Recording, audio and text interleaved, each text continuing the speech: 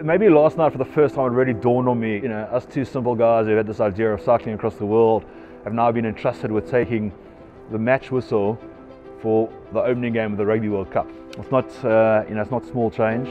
Having James involved in the race to Rugby World Cup, it's a huge thing for ChildFund Pass It Back. I'm just excited to get out on the road and yeah, I'm just ready for the adventure really.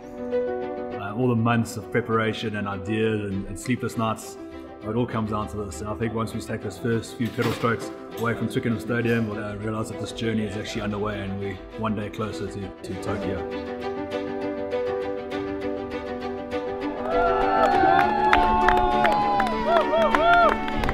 I don't know if it's the, the sugar or just being high on life, but I'm feeling surprisingly good.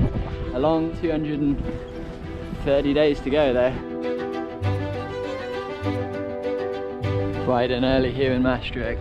On our way. We're now just a matter of minutes away from Germany, where we're going to be meeting DHL team. I know they've got a, a welcome lined up for us.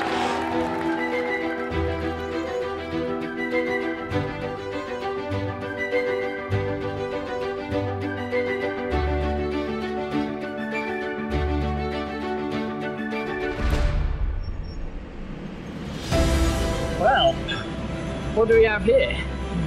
We have a bridge.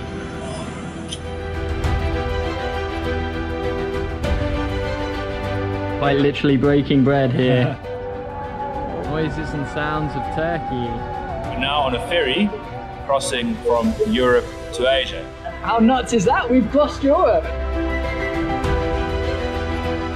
We are breaking it down here in Tehran.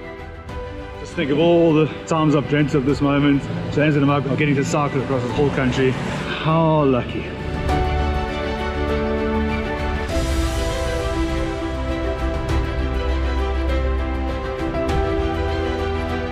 It's been unreal up in the Pamirs. We're just about to cross the Kulma Pass. Welcome to China.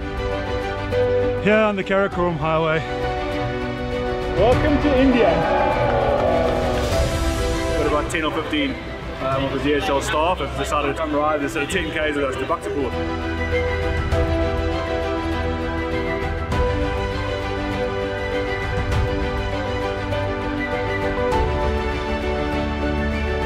I've known James for eight months or so, and quite honestly, never seen him happier. I think for the first time for me, it really hit home just how much Pass It Back. I mean, the good kilometres are the ones that no one else will be talking about. It's the small little mini adventures along the way. So it's not just the sort of long days in the saddle, but these sort of social interactions we have in all different cultures. That for me is the, the big part of the adventure.